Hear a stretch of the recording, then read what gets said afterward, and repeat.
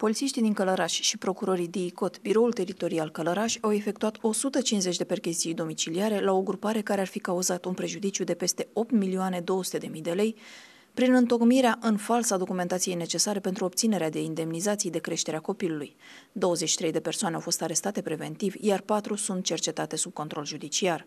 În perioada 5-13 noiembrie 2020, Polițiștii Inspectoratului de Poliție Județean Călăraș, împreună cu procurorii DICOT, Biroul Teritorial Călăraș, au efectuat 150 de percheziții domiciliare în București și în județele Călăraș, Ilfov, Giurgiu, Dâmbovița, Argeș, Bacău și Vaslui. De asemenea, au pus în aplicare 153 de mandate de aducere emise pe numele unor persoane care ar fi beneficiat de indemnizații de creșterea copilului obținute în mod ilegal. Persoanele respective au fost conduse la sediul poliției în vederea audierii. În urma perchezițiilor domiciliare au fost descoperiți și ridicați în vederea confiscării 103.000 de lei, 33.100 de euro, 970 de dolari, 280 de lire sterline, 2,6 kg de aur și un pistol tip Airsoft. La domiciliul uneia dintre persoanele bănuite au fost descoperiți 10.000 de dolari, 20.500 de euro, 7.500 de lire în bagnote false. În cauză urmează a fi dispuse măsuri asiguratorii asupra mai multor bunuri imobile până la concurența prejudiciului cauzat de aproximativ 1.700.000 de euro.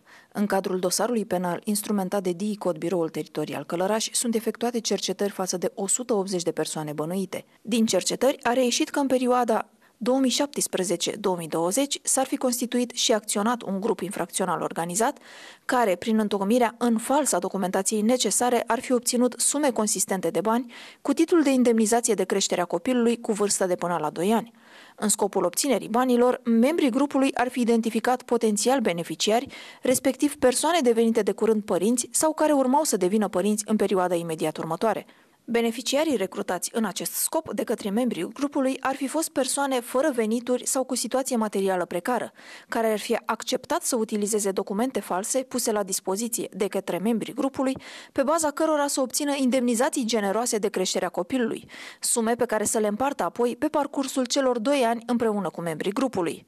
În acest scop, gruparea infracțională ar fi deținut, de facto, mai multe societăți comerciale fantomă pe care ar fi avut angajări fictive retroactive respective, documentația întocmită atestând în fals că beneficiarii ar fi fost angajați în aceste societăți comerciale pentru perioada cerută de lege, precizându-se că beneficiarii ar fi primit salarii consistente. Pentru că aceste societăți comerciale ar fi fost înregistrate pe numele unor persoane interpuse, nu s-ar fi achitat pentru perioada precizată niciun fel de impozit pe salariu, astfel că acestea ar fi ajuns să figureze cu datorii foarte mari la bugetul de stat. Au existat și situații în care beneficiarii ar fi refuzat să achite ulterior virări recuperării banilor, partea stabilită din indemnizația membrilor grupării organizate. În aceste cazuri, membrii grupului infracțional organizat ar fi apelat la recuperatori sau ar fi făcut demersuri pentru încetarea acordării dreptului. Pentru a evita astfel de situații, în cazul unor beneficiari, membrii grupului infracțional organizat ar fi reținut cardurile beneficiarilor și ar fi retras din bancomate indemnizația. De această dată, ei fiind cei care lunar ar fi înmânat beneficiarilor jumătate din cuantumul indemnizației de creștere a copilului. Valoarea totală a prejudiciului cauzat la bugetul de stat este peste 8.200.000 de lei, aproape 1.700.000 de euro. La sediul DICOT, biroul teritorial Călăraș, vor fi conduse în vederea audierii 37 de persoane. Acțiunea a beneficiat de sprijinul ofițerilor de poliție judiciară din cadrul Serviciului Județean Anticorupție Călăraș, al jandarmilor din cadrul Inspectoratului Județean de Jandarm Călăraș și al Brigății Speciale de Intervenție a Jandarmeriei Române. Suportul de specialitate a fost asigurat de Direcția Operațiuni Speciale din cadrul Poliției Române.